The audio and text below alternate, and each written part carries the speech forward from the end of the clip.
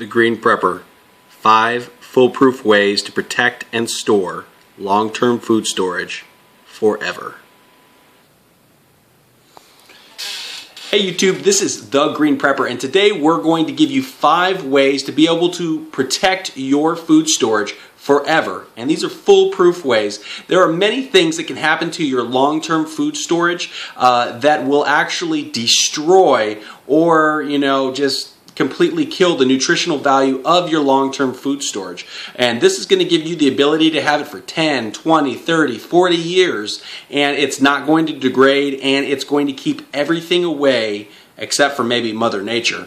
Uh, but we're going to give you the foolproof ways and the steps, tips, and tricks to be able to do it because we want you to be able to prep your food and then not run into a lot of the mistakes uh, that other people have had. I don't know about you, but I know that several people out there have gone and they've had rice, beans, flour, milk, and they open it up when they're ready to use it and they find these little buggers in there the weevils, all the different bugs that come with food, uh, you know, the, the moths and all that kind of stuff. And uh, of course, you know, some people have even found rats. Now, the thing is, you know, what a lot of people don't know is all of the foods you know, um, you know, rice, beans, flours, they all have microscopic bug eggs that you cannot see. Most of them are coming from the store. They're, they do not even come from your house. They come in the package and they were already there. And as you have them for long periods of time and you have them available with oxygen,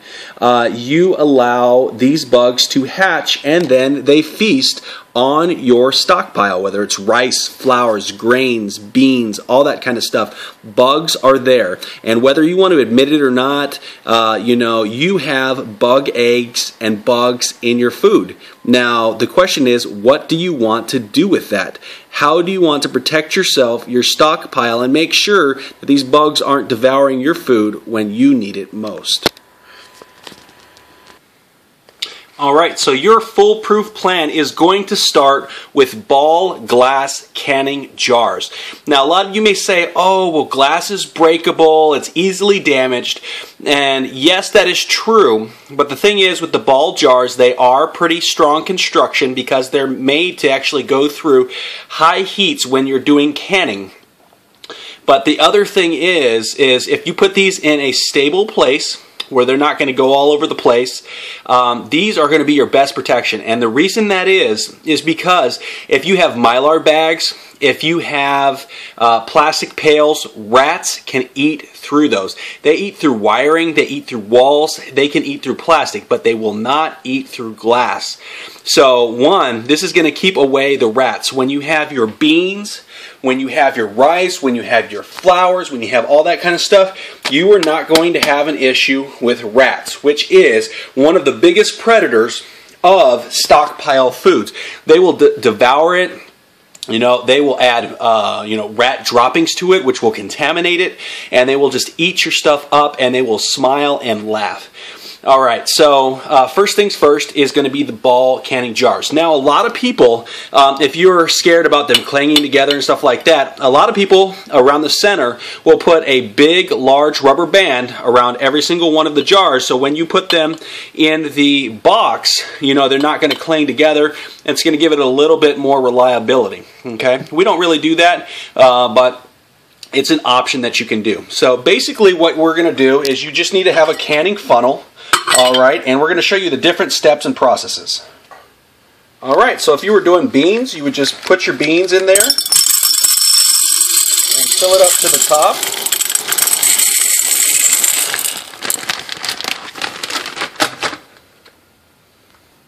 All right, quick and easy like that. So basically all you would do is you would pull off your funnel and this is ready to process. So the first process that we're going to show you requires lids off, okay? So one of them is going to take lids on, one of them is going to take lids off. So this is going to be the first one. And what we're going to show you is called oven canning.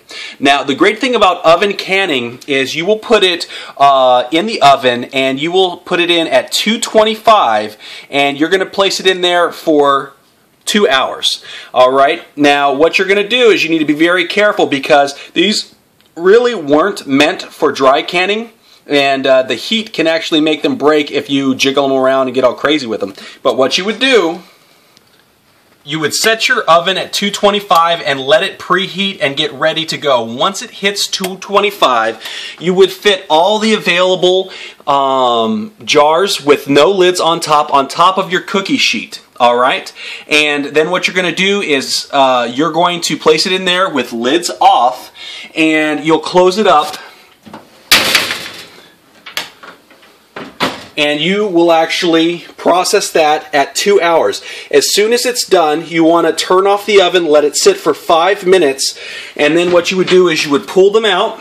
All right, don't pull them out with your hands, but you would pull them out, and then you would wipe the lid like you were canning, and you would put a lid on there and seal it up. And what it's going to do, you're going to let it sit, you know, for a couple hours, and it's going to give you the airtight seal, like so. All right. So the great thing is, is that will heat all of the objects in here and we'll make sure that it kills any uh, larvae, any eggs, any bugs, all that kind of stuff, and bacteria. Now, this is not uh, suggested by the USDA because, um, you know, you may get down to the center and it may not completely heat all right?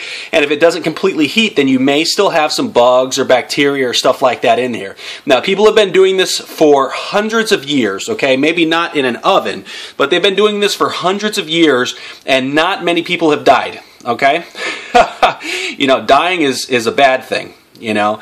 Um, but this is a really, really good way to be able to do that. Once you have it processed, remember you put the lid on and you tighten it up. All right. The next process is a more foolproof plan, and this is the one that we like to use the most. This one would be lids on, all right? So basically what you're going to do, you're going to pack your rice, your beans, your flour, stuff like that. You're going to put the lid on, all right? And you can also put this on a pan if you desire, or you can just put all of your jars in here. And then what you will do is you will leave it in the freezer, all right? And we have a sub-zero freezer. We can set it to whatever temperature that we want. But if you have a regular freezer, what you're going to do is you're going to leave it in here, all right, for one week, five days. Now, some people say three days, four days, five days, whatever. We do five days just to make sure that it's safe. And what it does is it allows the cold enough time to get all the way through and to kill any eggs, any larvae, any bugs uh, that are microscopic that you don't have the ability to see right now but will hatch later on.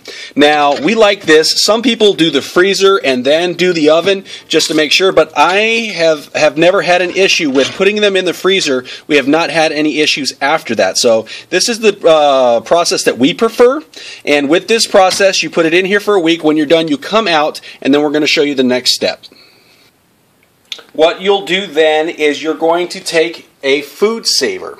Now, with this food saver, this is going to uh, pull out probably 80, 90 uh, to 100% of the oxygen. What you'll want uh, is you're going to probably want to get a largemouth and a smallmouth adapter. Uh, this one is a largemouth, this one is a smallmouth, and basically what it is, is the machine all right, comes with a little plastic tube, and what you do is you plug it into the uh, oxygen port. All right, then you plug it into the adapter, whichever uh, the largemouth or the small mouth adapter. And there's going to be a couple of buttons on here. So this one here is going to be normal, and then it's going to be dry. All right, and when you do that, uh, you'll have the ability to be able to hit the canister button, and the canister button will suck out all of the air. Now, one thing we do suggest, some people just can it just like this. So they put the lid on, all right, and then they vacuum seal it and they pull the air out. Now, like I said, one of the biggest concerns is that you may still have a little bit of bacteria in there, contamination or whatever, and one thing that can aid in that is oxygen. All right, so this will take out most of the oxygen, but some people, just to give it a little extra step, will actually even throw an oxygen absorber in the top, you know, like a 300 cc oxygen absorber, and then they will do this. And that will guarantee that you will not have any oxygen infiltration inside. Uh, it will also guarantee that you don't have any buildup of bacteria or anything like that uh, because there will be no oxygen present. So we don't always use oxygen absorbers, uh, you know, especially if we've done the freezer method. Um, but it is an added bonus and it gives you the ability to guarantee that you're not going to have an issue. So uh, once we do that, we put on the top, you take your little adapter, you just slide it right over. All right. And then you hit the canister button.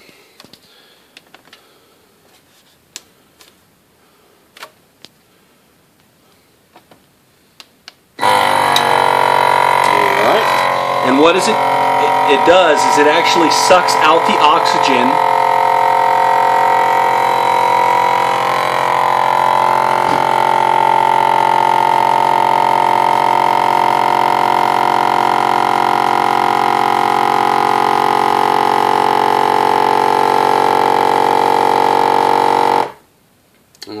And then once it's done, the lights come off. Now, one very important thing that you want to make sure that you do, a lot of people will just try to take this adapter off. What you want to do first is you want to take off the adapter hose and then you'll pull the lid off.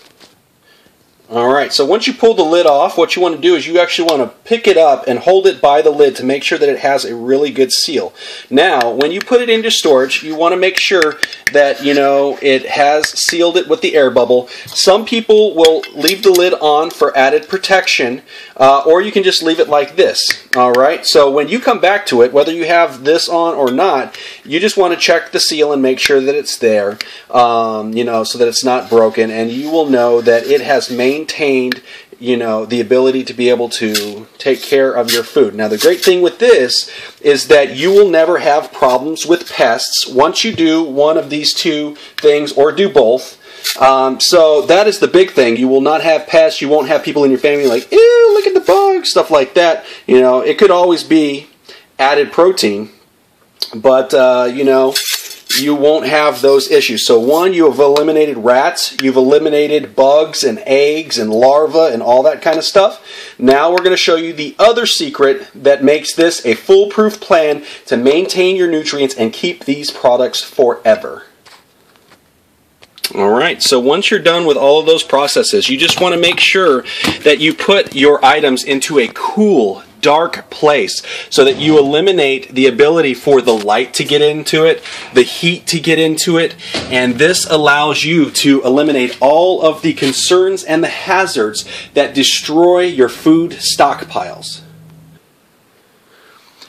Once again, this has been an effective way to be able to make sure you have foolproof protection of your long-term food storage.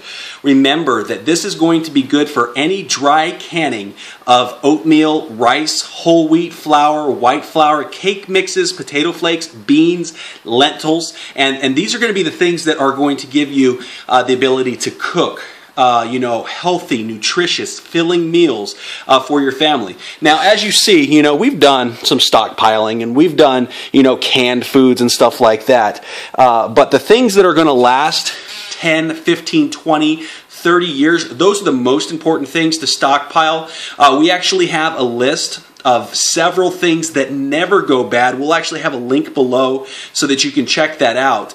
Um, but uh, we have a list of things that will never expire, and those are the things that you want to stockpile, most especially dry canning to be able to get all of these hazards away from it so that you can enjoy your stockpiled foods, your long term storage foods. Um, you know, for years to come, whenever you or your family needs them or desires them. So hopefully this information has been helpful. If you get a chance, please give us a big thumbs up. Please throw it on Google Plus and Facebook. And we will also have links below if you want to follow us on Facebook, Twitter, Google Plus, all that kind of stuff. You can go ahead and check out the links below. We definitely appreciate your support. Um, if you have any tips or tricks that you would like to share with us, please let us know. And, uh, you know, we just want to thank you for all of your help in this community as well as your support and the ability to, you know, just help us grow and learn. So once again, this has been the five foolproof ways to protect and store long-term food storage forever. Thanks for watching. Please subscribe.